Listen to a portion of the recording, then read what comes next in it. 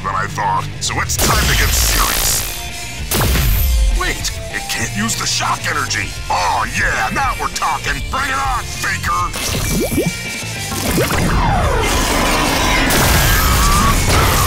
Shock uppercut!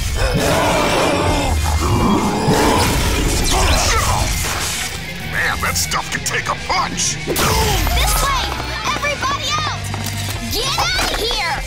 Think that's the last of them. Let's go see if Ben needs any more of our help.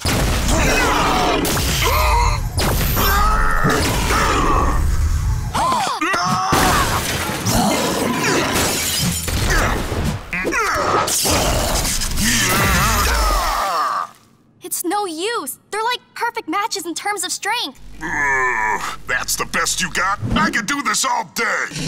No! I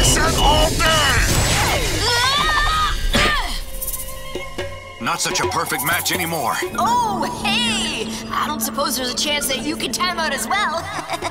okay, never mind.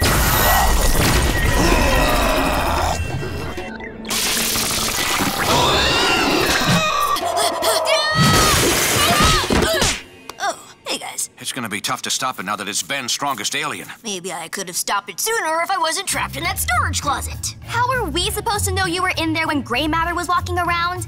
I can't believe you guys thought that faker was me, just because it looked like me and copied my every move. And now it's wrecking things? Maybe it isn't that smart. I don't know. Maybe it just hates telescopes. Wait, look at what it's been doing.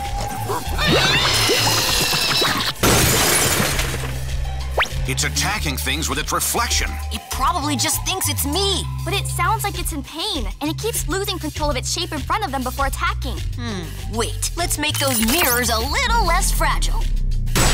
Ready for the final round? It's working! Couldn't even take that, huh? Well, I'm just getting started.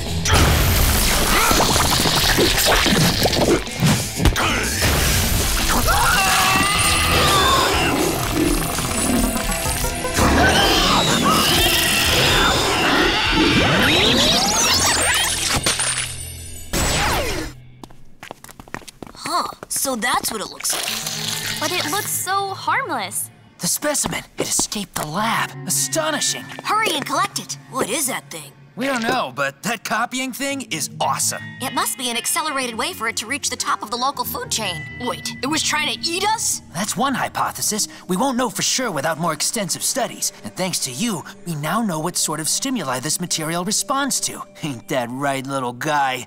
Let's get you back to the lab. That was some ingenious thinking back there, using its own reflection to create a mimicry feedback loop. As long as we keep it contained within a reflective enclosure, it should be safe, you know? I think you might have what it takes to become an astronaut after all.